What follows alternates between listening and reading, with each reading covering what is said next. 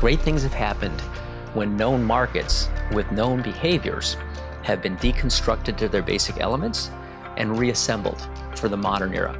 We're in the midst now of kind of deconstructing and reconstructing marketplaces.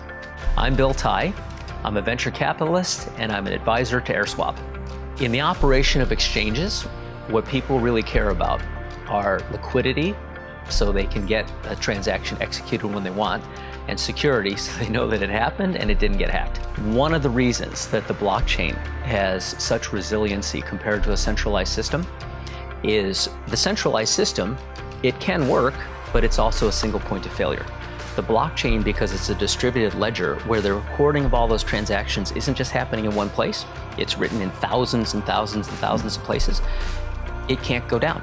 The, the nodes are spread around the world, and if the power fails in a couple of them, everything else is still running. So it's hard to hack because to try to replace or, or erase and change the information, you'd essentially either have to take over every single one of those computers around the world, writing it down at the same time, or you'd have to double the whole network all at once, which it's really kind of impossible at the scale it is today. So we're right now at that point where assets, because of the blockchain, can be connected to a gigantic network. So every single asset in the hand of every single person can broadcast itself to find its buyer or seller.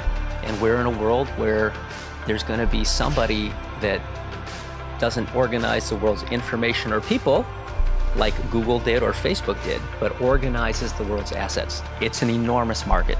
And I think the timing for this technology is perfect.